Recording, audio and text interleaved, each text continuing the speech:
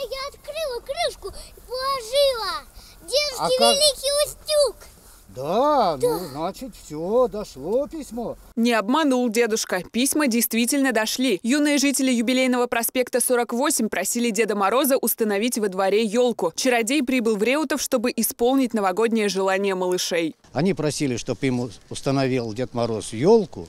Они вместе с Дедом Морозом украсили ее, сделали сани специальные коленям, сделали снеговика и здесь во дворе сделали им ледяную горку. Помочь Деду Морозу вызвались и жильцы дома. Взрослые заливали ледяную горку. Волшебник, кстати, лично проверил качество ледового покрытия. Дети разрешили мне даже прокатиться с горки. Мне очень понравилось, хоть и было очень страшно. Сани Деда Мороза пока охраняет верный сторож, очаровательный снеговик. Над ним чародей с помощниками трудились около трех часов. На радость детям во дворе украсили не одну, а целых две елки. На любой вкус и цвет. Трудились всем двором. Большую часть украшений, игрушек и гирлянд делали сами из деревянных заготовок. Нам Дедушка Мороз заранее давал заготовки а, деревянные, мы их раскрашивали красками э, и э, с всякими там стразами. В общем, детки сами старались, делали не один день.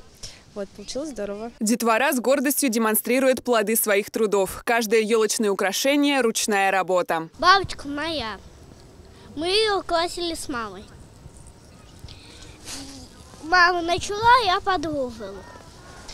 Потом мы стали классить хлюшечку. Хлюшечку все мама. Дедушка Мороз так обрадовался своим юным помощникам, что совсем не торопится уезжать из Реутова. Да и детвора волшебника теперь никуда не отпустит. Так что праздник пришел в город надолго. Виктория Волкова, Сергей Сомов, телеканал Реутов.